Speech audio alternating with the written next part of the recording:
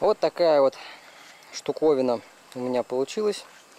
Самопальное электрическое чудо. От родной, родной движок от бензиновой газонокосилки просто скинул, убрал его и продал почти за 3 рубля. Уехал в Ижевск. А, движок 1 киловатт, стандартный от насосных станций. Здесь все написано, 1 киловатт ровно. Есть удобный включатель, чтобы запускать косилку. Можно сюда, конечно, куда-нибудь автомат еще поставить или на ручку, но это дело дальнейшее. Чтобы поставить движок в зависимости от формы креплений к расширительному баку, придумываем, как здесь закрепить. Я приварил сюда обычный уголок. А, здесь не получилось сажать на вот эти вот отверстия, потому что оно аккурат попадало на краешек отверстия для старого движка. И вот по этим отверстиям не попадалось. Единственное, что один вот такой твинтик есть, чтобы просто придерживал с этой стороны и центровка не нарушалась. Вот. А основное крепеж он здесь. Здесь все равно нагрузок не будет, он а, в принципе хорошо сидит. А, самая основная сложность заключалась в переходнике с вала на нож.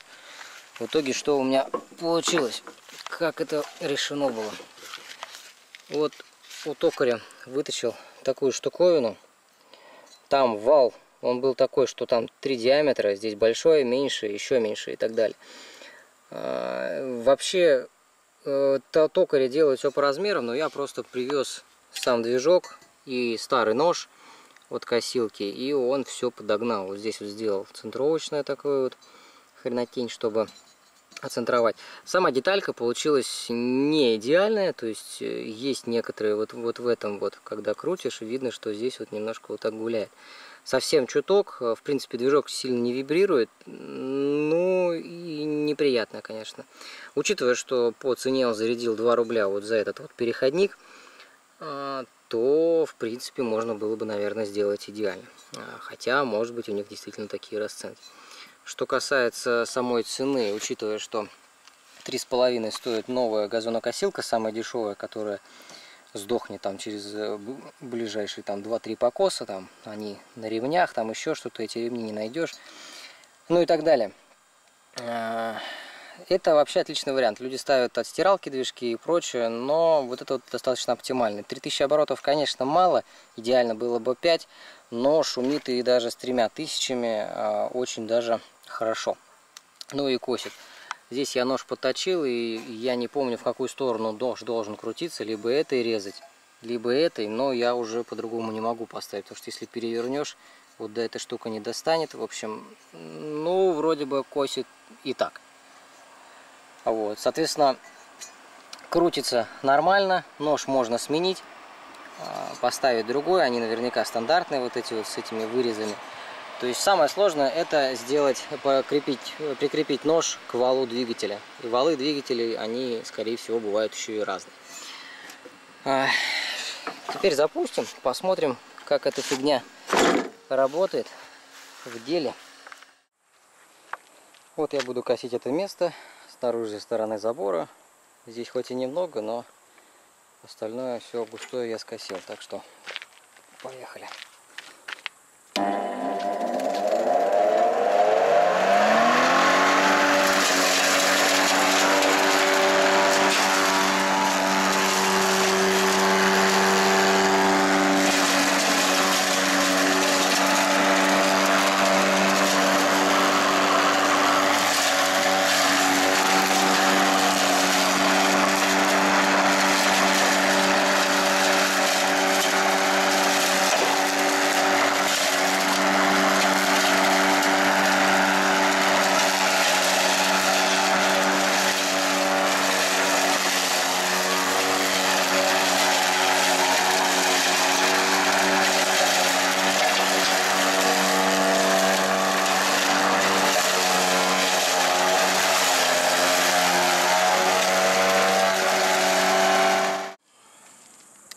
Немножко приподнял а, над землей, был в самом нижнем положении по густой траве не идет, приходится толкать. Почему не стал делать на всяких фанерках с, колесками, с колесиками от коляски? Потому что здесь сохраняются все вот эти регулировки. И это очень удобно. Мы погнали с поднятым.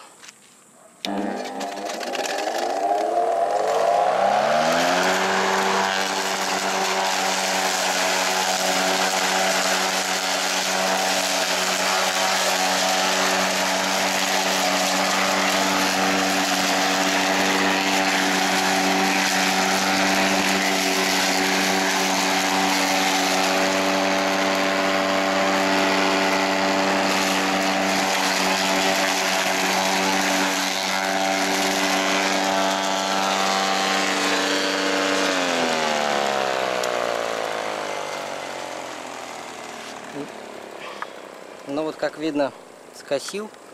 Э, тут неровно очень. Тут все понатыкано всего.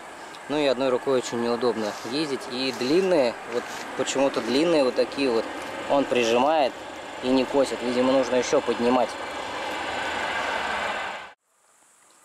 Ну что по итогу можно сказать? Разобраться с ножом осталось, какой там стороной он правильно должен быть. Может где-то наточить или другой вообще сделать просто из пластины.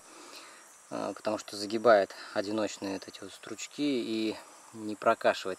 А когда более плотная, он скашивает очень даже хорошо. С более густой травой и высокой нужно попробовать. А, и как он вообще себя поведет, будет ли он тормозиться, останавливаться там и так далее. Вот когда подрастет трава у себя на участке, буду ее дальше драконить.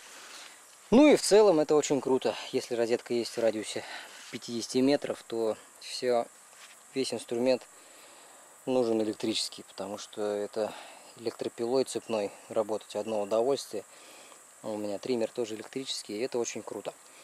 Да и в целом, мотоциклистов есть выражение, все будут ездить на эндуро, но тут можно перефразировать, что все будут ездить на электро. Даже мотоцикл я свой продал и заказал электровелик. Так что нужно все электрическое, если вам не надо идти в лес или очень далеко где-то косить там или выполнять работы, а, где не нужен бензин. А тот бензиновый движок, который здесь был, скорее всего, он более-менее был рабочий, его просто завести не могли, даже не хотелось заморачиваться. Настолько мне уже все это противно, все это масло, еще что-то там заводится, не заводится, стартер, это веревка и прочая хрень. А, так что взял электродвижок и не паришься не боится ни воды, ничего, тут все нормально так э, загерметизировано, можно просиликонить на всякий случай, все равно открывать э, каждый раз там не нужно. Вот, и, и будет он работать, пока не сгорит там от, перед, от перегруза. В общем, переходите на электро.